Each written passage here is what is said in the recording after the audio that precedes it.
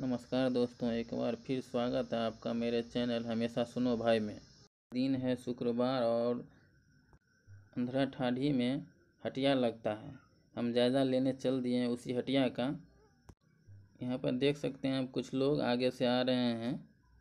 यहाँ पर तो, तो ठीक ठाक है अभी और चल रहे हैं आगे देखते हैं कि कैसे क्या कैसा है।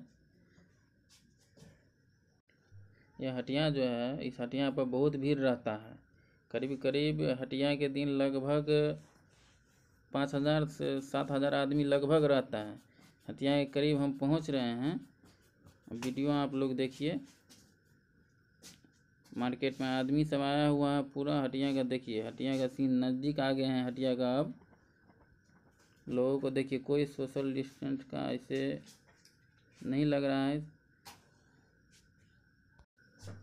खुद यहाँ पर आप देख सकते हैं कि लोग को जो है सोशल डिस्टेंस का क्या, कितना जानकारी है और कितना पालन कर रहे हैं। नरेंद्र मोदी जो बोले हैं, उसका कोई लोगों पर प्रभाव नहीं पड़ा है।